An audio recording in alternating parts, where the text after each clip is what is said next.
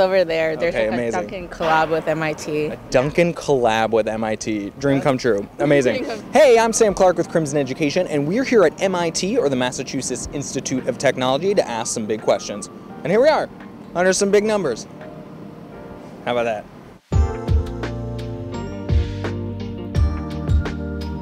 First question, uh, what's the best thing about MIT? I'm not gonna lie, like the clout that comes with the name is kind of nice. I feel like a lot of people like opens a lot of doors for you and um, creates a lot of paths. So I really appreciate that. Amazing. Um, a lot of things, but mostly a very supportive community. I really, uh, the professors were nice to me, as, as, at least so far, uh, and the TAs were nice. So you're allowed to make mistakes in any place, I guess. So I like that about it. I say like the people. I think Yeah. like I don't know, like even though it's like a top college, I think everyone's like really humble and like down to earth and like open to making friends and helping people. So I think that's pretty cool. Fantastic. Yeah, and I also agree that it's like the people, like we're all super like collaborative. Nobody's like trying to beat each other. Um, and yeah, I just love the people that are around here. Um, I think the best thing about MIT is that there's so many people that are doing so many different things. Um, there's also like the UROP, which is like the research program, so there's a lot of opportunities for people to get involved in that. Um, and yeah, there's like things like milk tea here, grocery stores, so there's like a lot of opportunities. Being in a city, it's awesome. You got me there. I don't know. Good start, good start, powerful start. The best thing is they pay for everything. Like, like if you need financial aid, they'll, they'll give it to you. Amazing, amazing. Location. I like the location a lot. I think we have the best location. I would say our campus is really diverse, whether it's like people or is the design of the campus, the buildings, and there's different styles and different every everywhere. Everyone has a place that they would fit into. Fantastic. Yeah, I would also say location, but more like the fact that there are a lot of other colleges around where like you kind of you're not in like your own little like only MIT people. You're kind of like dispersed and like you have friends from other colleges too. There's a lot of free food. You can Free see- food, love it. Yeah, here's two bags of free food, and we're about to take free Dunkin'. More, more free food, amazing. Yes. Um, I really love the community here. I live in one of the dorm in, on campus. It's called Sidney-Pacific.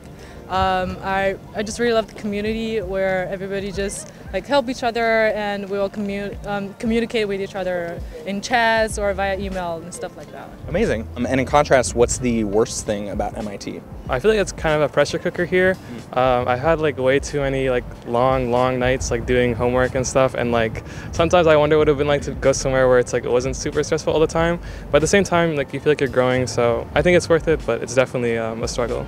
Academics is really hard. There's a lot of exams. Is it, is it exam season like right now? Wait, I low key think it's exam season all the time. Always. yeah, I, I pretty much have exams like every week till like the end of the semester. Yeah. So I really care about that.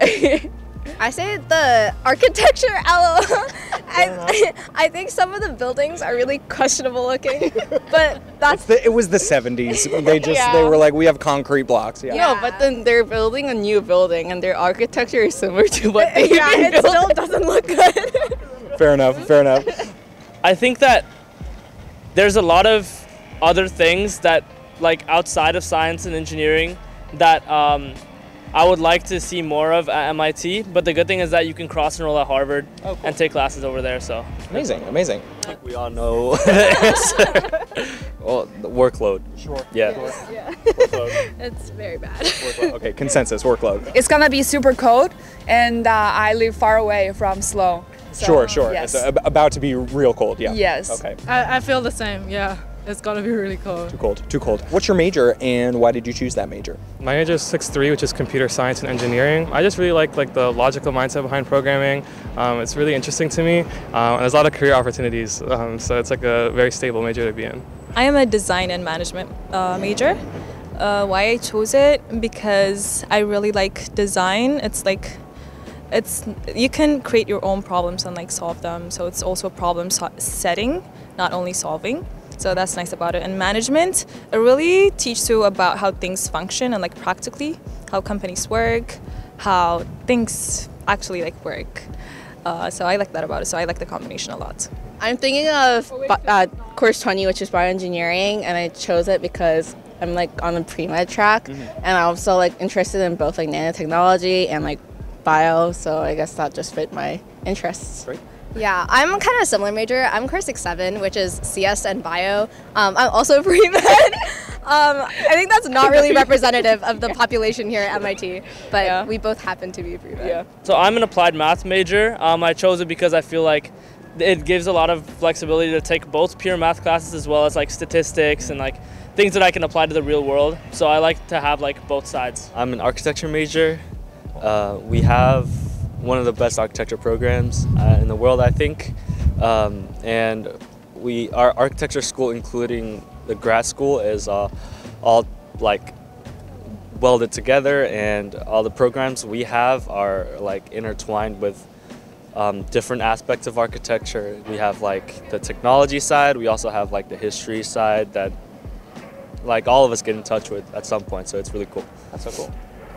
Um, I'm a linguistics major, and I chose it because I think it's like the best like humanities field to combine with tech, and I thought this was like the best place to do it here as well. Great. I'm a computer science major. Uh, I, I just took some CS classes in high school and I liked it, so that's what I'm doing. And it's just this is like the best place to do it. Great. Um, I'm an AI major. It's the new major. Um, yeah, I don't really, I don't really know what I want to do yet, so I might be switching to CS. So yeah, I don't really know yet. Both of uh, we two are from the Master of Business Analytic program at MIT Sloan. So I did data science in undergrad, and I think it's a great combination of also data science and business. So that's where I want to go after graduate. Yes. Amazing. Same, uh, we are in the same program, and I studied math and econ uh, from undergrad. And I think math and econ is just like a um, synonym for business analytics. So yeah, it, it is a good, good path for me. And what would you say is the biggest misconception about MIT? I feel like that um, there's like this misconception that yes, I feel like MIT is a very nerdy school, and I think that is true. But with that like association comes the idea that like they don't know how to socialize or like they don't know how to work with other people. Um, and I feel like at least in my experience here, that's not really true. Um, I, I've yet to see what it's like in the like, at workforce, but I think um, definitely people here are good with other people. Um, so yeah. Uh, one thing, um, a lot of people are definitely like engineering, computer science, but not all people are that major. So there are a lot of uh, management, business analysts. So people are interested in other stuff than engineering in here as well. So like one of the biggest misconceptions is that like people think that MIT students grind like every single moment of their life. But like that's not true and i think we also have like a lot of fun. Like yes we definitely do have to like really study really hard for some times but um in general i think like we also do, do have like a lot of fun in general. Um, we hang out we have Dunkin' we, we got Dunkin' that's what matters so true. Yeah. I think like also this might just be like a general misconception about college, but like not everyone is like focused on their grades and stuff. Like Yeah. everyone has like I guess like different things they prioritize. Like a lot of people invest a lot of time into like the clubs that they're part of and like doing research and stuff. So I think there's like a lot more to think about in college and like balance. I think that when I first came to Boston, I thought that a lot of MIT students were just like studying all the time, like only math and stuff. But people actually are really passionate about what they what they came here to do, um, and that's something that I really like about MIT, Harvard, Boston, everything. Yeah. Well, I think there's an obvious one. Like we're all, we aren't all nerds. Sure. yeah, there's all types of people here, but um, also, I don't know. What do you guys think? They're like, isn't like, like MIT people don't know how to f- have fun or something. There's oh like, yeah, yeah, yeah. We're all like just you like only do hard. learning, you only study, you don't do anything but study. Yeah. I agree with those.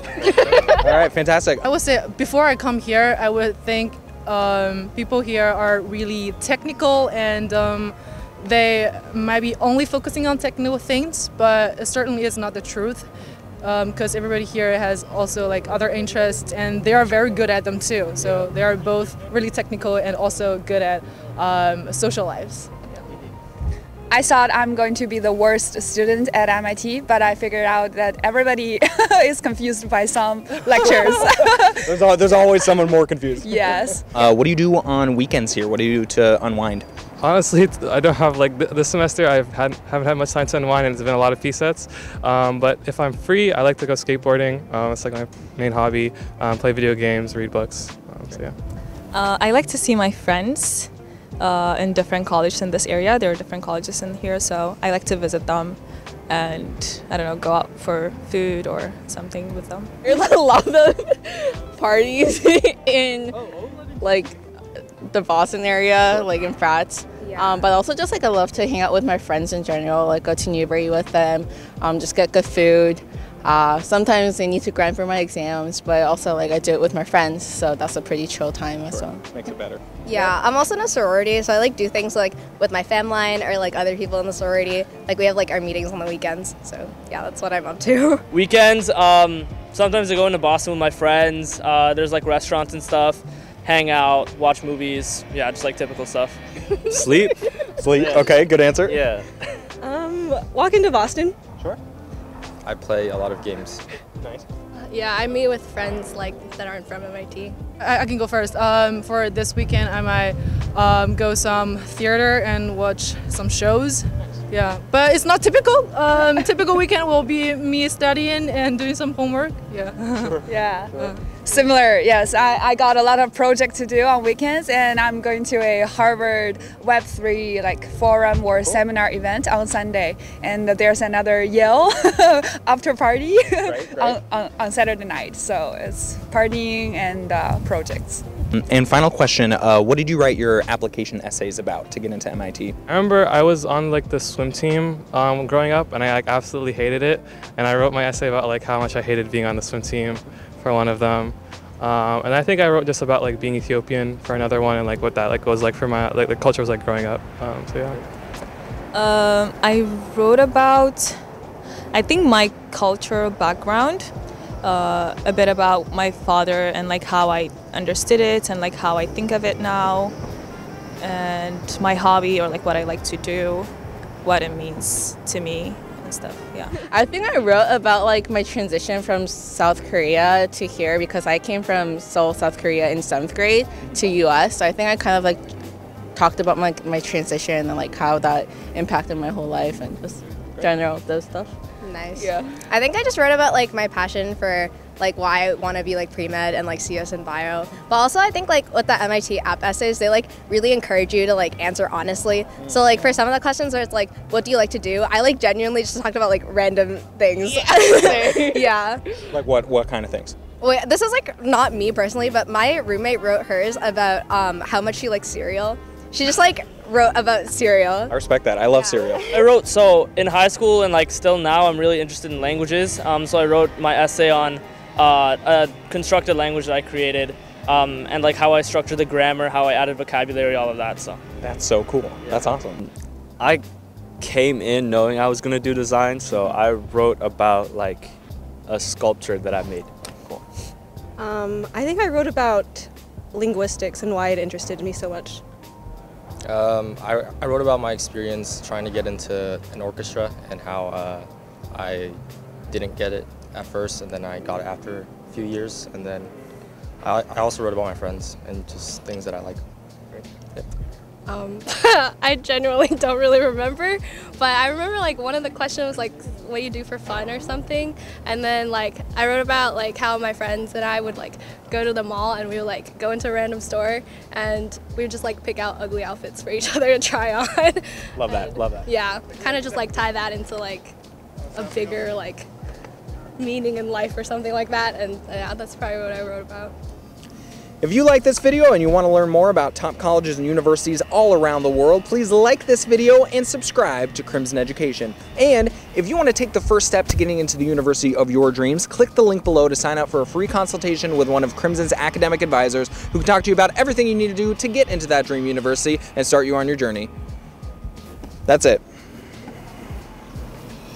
Cut.